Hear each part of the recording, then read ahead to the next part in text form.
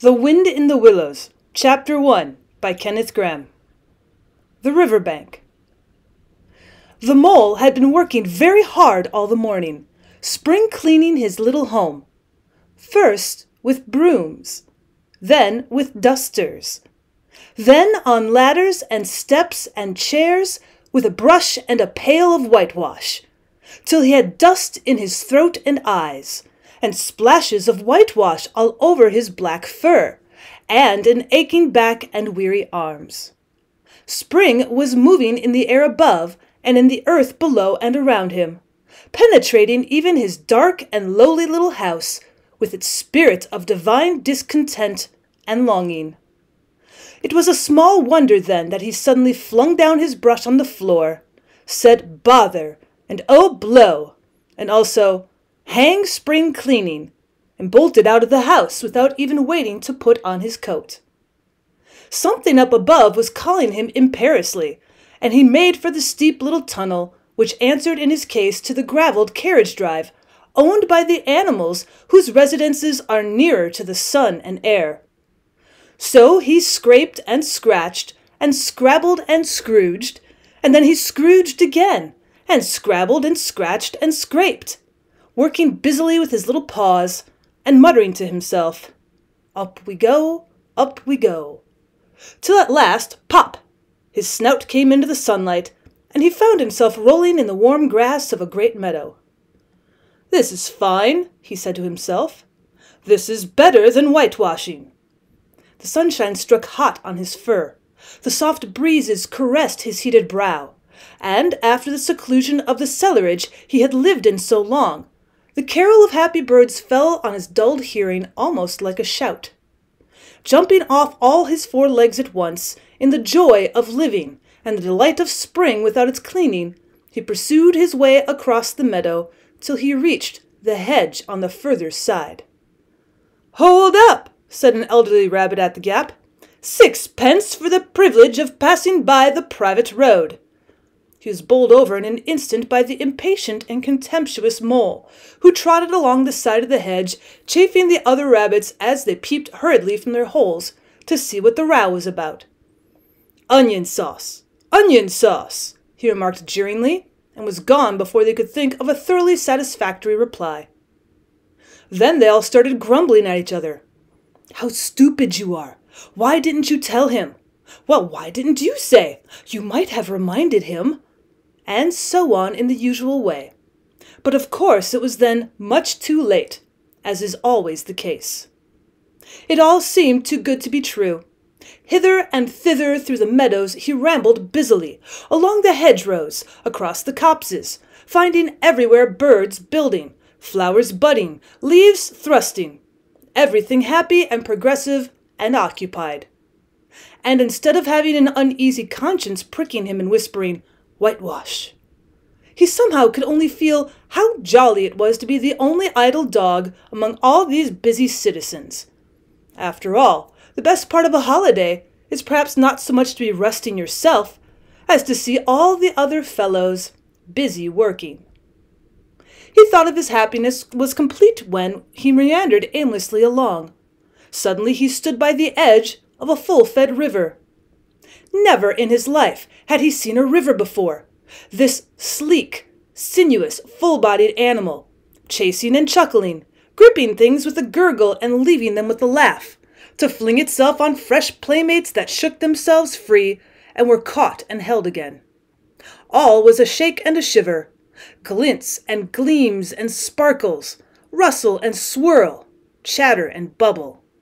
The mole was bewitched, entranced, fascinated.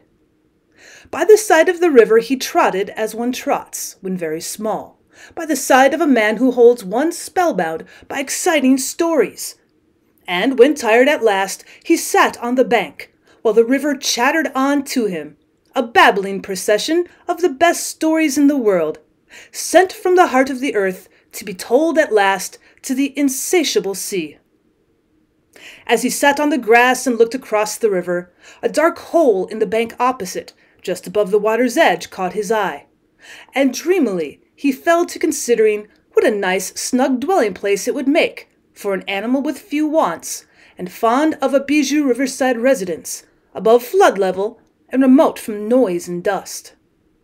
As he gazed, something bright and small seemed to twinkle down in the heart of it, vanished, then twinkled once more like a tiny star.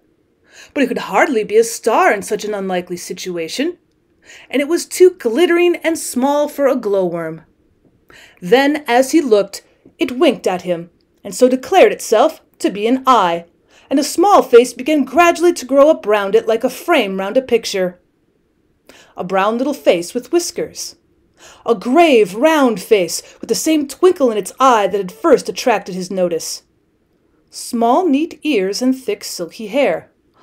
It was the water rat. Then the two animals stood and regarded each other cautiously. Hello, Mole, said the water rat. Hello, rats, said the mole. Would you like to come over? inquired the rat presently. Oh, it's all very well to talk, said the mole, rather pettishly, he being new to a river and riverside life and its ways. The rat said nothing, but stooped and unfastened a rope and hauled on it, then lightly stepped into a little boat, which the mole had not observed. It was a painted blue outside and white within, and was just the size for two animals, and the mole's whole heart went out to it at once, even though he did not yet fully understand its uses. The rat sculled smartly across and made fast. Then he held up his forepaw as the mole stepped gingerly down. Lean on that, he said. Now then, step lively. And the mole, to his surprise and rapture, found himself actually seated in the stern of a real boat. Well, this has been a wonderful day, said he, as the rat shoved off and took to the sculls again. Do you know, I've never been in a boat before, in all my life. What? cried the rat, open mouthed.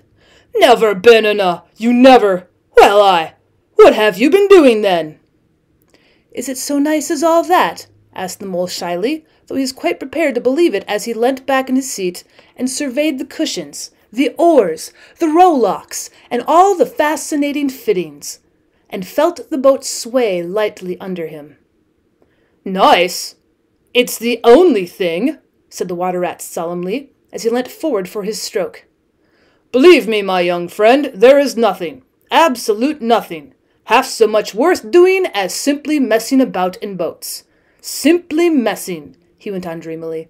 Messing about in boats. Messing! Look ahead, rat! cried Mole suddenly.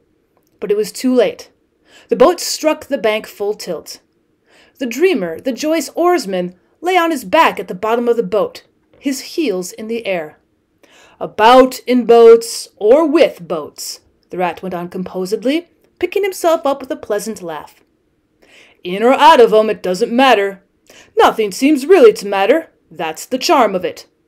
Whether you get away or whether you don't. Whether you arrive at your destination or whether you reach somewhere else. Or whether you never get anywhere at all. You're always busy, and you never do anything in particular. And when you've done it, there's always something else to do. And you can do it if you like, but you'd much better not. Look here, if you've really nothing else on hand this morning, supposing we drop down the river together and have a long day of it. Well, the mole waggled his toes from sheer happiness, spread his chest with a sigh full of contentment, and leaned back blissfully into the soft cushions. What a day I'm having, he said. Let us start at once. Hold hard a minute, then, said the rat. He looped a painter through a ring in his landing stage, climbed up into his hole above, and after a short interval reappeared staggering under a fat wicker luncheon basket. Shove that under your feet, he observed to the mole, as he passed it down into the boat. Then he untied the painter and took the sculls again. Well, what's inside it? asked the mole, wriggling with curiosity. There's cold chicken inside it, replied the rat briefly. Cold tongue, cold ham, cold beef, pickled gherk, gherkin salad, French rolls, crescent sandwiches, spotted meat, ginger beer, lemonade, soda water. Oh, stop, stop, cried the mole in ecstasies. This is too much. Do you really think so? inquired the rat seriously. It's only what I take on these little excursions. And the other animals are always telling me that I'm mean beast and cut it very fine. The mole never heard of a word he was saying. Absorbed in the new life he was entering upon, intoxicated with the sparkle, the ripple, the scents and the sounds and the sunlight, he trailed a paw in the water and dreamed long waking dreams. The water rat, like the good little fellow he was, sculled steadily on and forbore to disturb him. I like your clothes awfully, old chap, he remarked after some half an hour or so had passed. I'm going to get a black velvet smoking suit myself some day, as soon as I can afford it. Oh, I beg your pardon, said the mole, pulling himself together with an effort. You must think me very rude, but all this is so new to me. So this is a river. The river, corrected the rat. And you really live by the river? Oh, what a jolly life! By it, and with it, and on it, and in it, said the rat. It's brother and sister to me, and aunts and company, and food and drink, and naturally washing. It's my world, and I don't want any other. What it hasn't got is not worth having, and what it doesn't know is not worth knowing. Lord, the times we've had together! Whether in winter or summer, spring or autumn, it's always got its fun and its excitements. When the floods are on in February and my cellars and basement are brimming with drink that's no good to me, and the brown water runs by my best bedroom window. Or again when it all drops away and shows patches of mud that smells like plum cake, and the rushes and weed clog the channels. And I can potter about dry shod over most of the bed of it, and find fresh food to eat, and things careless people have dropped out of boats. But isn't it a bit dull at times? the mole ventured to ask. Just you and the river, and no one else to pass a word with. No one else to. Well, I mustn't be hard on you, said the rat with forbearance. You're new to it, and of course you don't know. The bank is so crowded nowadays that many people are moving away altogether. Oh no, it isn't what it used to be at all. Otters, kingfishers, dabchicks, moorhens, all of them about all day long, and always wanting you to do something, as if a fellow had no business of his own to attend to. What lies over there? asked the mole, waving a paw towards a background of woodland that darkly framed the water meadows on one side of the river. That? Oh, that's just the wild wood, said the rat shortly. We don't go there very much, we riverbankers. Well, aren't they? Aren't they very nice people in there? said the mole, a trifle nervously. Well, replied the rat, let me see. The squirrels are all right, and the rabbits, some of them, but rabbits are a mixed lot. Well, and then there's the badger, of course. He lives right in the heart of it. Wouldn't live anywhere else either if you paid him to do it. Dear old badger. Nobody interferes with him. Well, they better not, he added significantly. Why? Who should interfere with him? asked the mole. Well, of course, there there are others, explained the rat in a hesitating sort of way. Weasels and stoats and, and foxes and so on. They're all right in a way. I'm very good friends with them. Pass the time of day when we meet and all that. But they break out sometimes, there's no denying it. And then, well, you can't really trust them, and that's the fact. The mole knew well that it is quite against animal etiquette to dwell on possible trouble ahead, or even to allude to it, so he dropped the subject. And beyond the wild wood again, he asked, where it's all blue and dim and one sees what may be hills, or perhaps they mayn't, and something like the smoke of towns. Or is it only cloud drift? Well, beyond the wild wood comes the wide world, said the rat. And that's something that doesn't matter, either to you or to me. I've never been there, and I'm never going. Nor you either, if you've got any sense at all. Don't ever refer to it again, please. Now then, here's our backwater at last, where we're going to lunch. Leaving the main stream, they now passed into what seemed at first sight like a little landlocked lake. Green turf sloped down to either edge. Brown, snaky tree roots gleamed below the surface of the quiet water while ahead of them the silvery shoulder and foamy tumble of a weir, arm in arm with a restless, dripping mill wheel, that held up in its turn a gray gabled mill house, filled the air with a soothing murmur of sound, dull and smothery, yet with little clear voices speaking up cheerfully out of it at intervals. It was so very beautiful that the mole could only hold up both forepaws and gasp, Oh my, oh my, oh my. The rat brought the boat alongside the bank, made her fast, helped the still awkward mole safely ashore, and swung out the luncheon basket. The mole begged as a favor to be allowed to unpack it all by himself, and the rat was very pleased to indulge him, and to sprawl at full length on the grass and rest, while his excited friend shook out the tablecloth and spread it, took out all the mysterious packets one by one, and arranged their contents in due order, still gasping, Oh my, oh my, at each fresh revelation. When all was ready, the rat said, Now, pitch in, old fellow. And the mole was indeed very glad to obey, for he had started his spring cleaning at a very early hour that morning, as people will do, and had not paused for a bite or sup. And he'd been through a very great deal since that distant time which now seemed so many days ago. What are you looking at? said the rat presently, when an edge of their hunger was somewhat dulled, and the mole's eyes were able to wander off the tablecloth a little. Well, I am looking, said the mole, at a streak of bubbles that I see traveling along the surface of the water. That is a thing that strikes me as funny. Bubbles? Oho, said the rat, and chirped cheerily with an inviting sort of way. A broad glistening muzzle showed itself above the edge of the bank, and the otter hauled himself out and shook the water from his coat. Greedy beggars, he observed, making for the provender. Why didn't you invite me, Ratty? This was an impromptu affair, explained the rat. By the way, my friend, Mr. Mole. Proud, I'm sure, said the otter, and the two animals were friends forthwith. Such a rumpus everywhere, continued the otter. All the world seems out on the river today. I came up this backwater to try and get a moment's peace, and then stumble upon you fellows. At least, I beg pardon. I don't exactly mean that, you know. There was a rustle behind him, proceeding from a hedge, wherein last year's leaves still clung thick, and a stripy head, with high shoulders behind it, peered forth on them. Come on, old badger, shouted the rat. The badger trotted forth a pace or two and then grunted, Hmm, company, and turned his back and disappeared from view. That's just the sort of fellow he is, observed the disappointed rat. Simply hates society. Now we shan't see any more of him today. Well, tell us, who's out on the river? Toad's out, for one, replied the otter.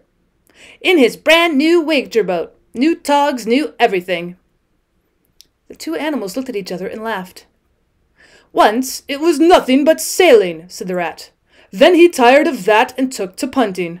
Nothing would please him but to punt all day and every day, and a nice mess he made of it. Last year it was houseboating, and we all had to go and stay with him in his houseboat and pretend we liked it. He was going to spend the rest of his life in a houseboat. It's all the same whatever he takes up. He gets tired of it and starts on something fresh. Such a good fellow, too, remarked the otter reflectively. But no stability, especially in a boat. From where they sat, they could get a glimpse of the main stream across the island that separated them. And just then a wager boat flashed into view. The rower, a short, stout figure, splashing badly and rolling a good deal, but working his hardest. The rat stood up and hailed him, but Toad, for it was he, shook his head and settled sternly to his work. Well, he'll be out of the boat in a minute if he rolls like that, said the rat, sitting down again. Of course he will, chuckled the otter. Did I ever tell you that good story about Toad and the lock-keeper? It happened this way. Toad, an errant mayfly swerved unsteadily athwart the current in the intoxicated fashion affected by young bloods of mayflies seeing life. A swirl of water and a cloop, and the mayfly was visible no more. Neither was the otter. The mole looked down. The voice was still in his ears, but the turf whereon he sprawled was clearly vacant. Not an otter to be seen, as far as the distant horizon. But again there was a streak of bubbles on the surface of the river. The rat hummed a tune, and the mole recollected that animal etiquette forbade any sort of comment on the sudden disappearance of one's friends at any moment, for any reason or no reason whatever. Well, well, said the rat, I suppose we ought to be moving. I wonder which of us had better pack the luncheon basket. He did not speak as if he was frightfully eager for the treat. Oh, please, let me, said the mole. So of course the rat let him.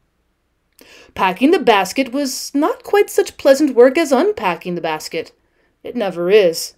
But the mole was bent on enjoying everything, and although just when he had got the basket packed and strapped up tightly, he saw a plate staring up at him from the grass. And when the job had been done again, the rat pointed out a fork, which anybody ought to have seen. And last of all, behold, the mustard pot, which he'd been sitting on without knowing it. Still, somehow, the thing got finished at last without much loss of temper. The afternoon sun was getting low as the rat sculled gently homewards in a dreamy mood, murmuring poetry things over to himself, and not paying much attention to Mole. But the mole was very full of lunch and self satisfaction and pride, and already quite at home in a boat, so he thought, and was getting a bit restless besides. And presently he said, Ratty, please, I want to row now. The rat shook his head with a smile. Not yet, my young friend, he said. Wait till you've had a few lessons. It's not so easy as it looks. The mole was quiet for a minute or two, but he began to feel more and more jealous of Rat, sculling so strongly and so easily along, and his pride began to whisper that he could do it every bit as well. He jumped up and seized the sculls so suddenly that the rat, who was gazing out over the water and saying more poetry things to himself, was taken by surprise and fell backwards off his seat, with his legs in the air for the second time, while the triumphant mole took his place and grabbed the sculls with entire confidence. Stop it, you silly ass! cried the rat from the bottom of the boat. You can't do it! You'll have us over! The mole flung his sculls back with a flourish, and made a great dig at the water. He missed the surface altogether, his legs flew up above his head, and he found himself lying on the top of the prostrate rat. Greatly alarmed, he made a grab at the side of the boat, and the next moment, sploosh! Over went the boat, and he found himself struggling in the river. Oh my! How cold the water was! And oh, how very wet it felt!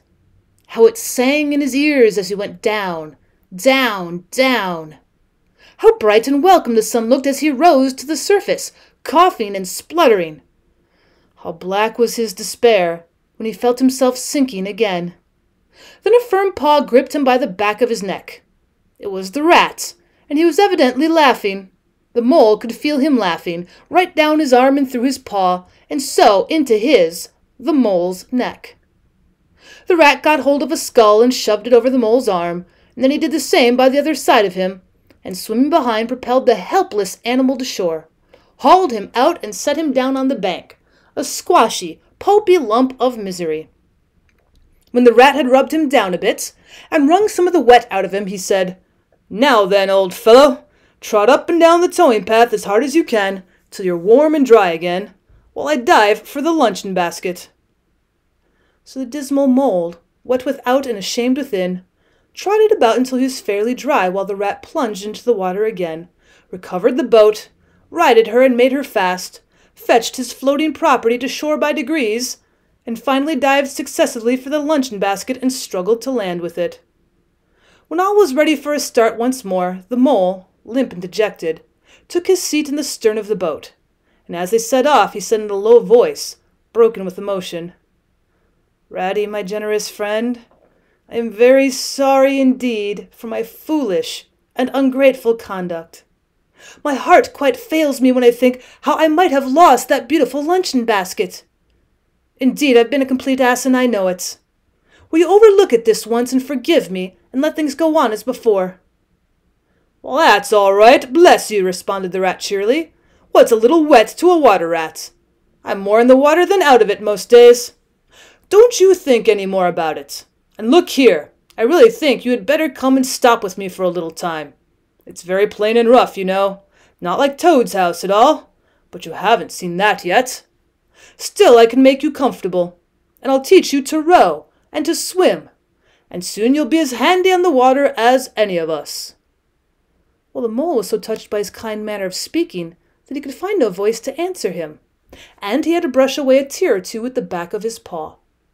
But the rat kindly looked in another direction, and presently the mole's spirits revived again, and he was even able to give some straight back talk to a couple of moorhens who were sniggering to each other about his bedraggled appearance. When they got home, the rat made a bright fire in the parlor, and planted Mole in an armchair in front of it, having fetched down a dressing gown and slippers for him, and told him river stories till supper time. Very thrilling stories they were, too, to an earth dwelling animal like Mole. Stories about weirs and sudden floods, and leaping pike, and steamers that flung hard bottles. At least bottles were certainly flung, and from steamers, so presumably by them. And about herons, and how particular they were whom they spoke to.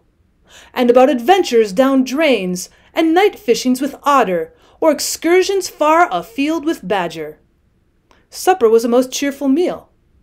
But very shortly afterwards, a terribly sleepy mole had to be escorted upstairs by his considerate host to the best bedroom, where he soon laid his head on his pillow in great peace and contentment, knowing that his new-found friend, the river, was lapping the sill of his window.